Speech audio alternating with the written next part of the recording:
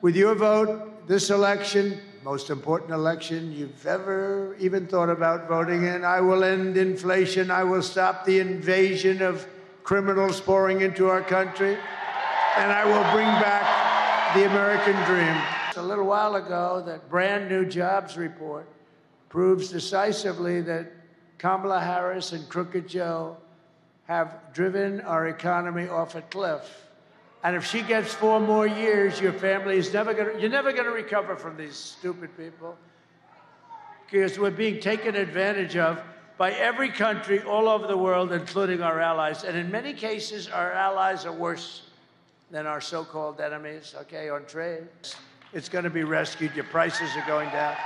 We're going to drill, baby, drill. We're going to bring prices down who can rescue our economy from total obliteration and restore our country to full prosperity, explosive growth. We will make America strong again.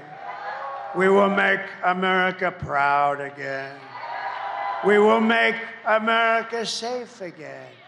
And we will make America great again. Thank you. Thank you, Michigan. God bless you all.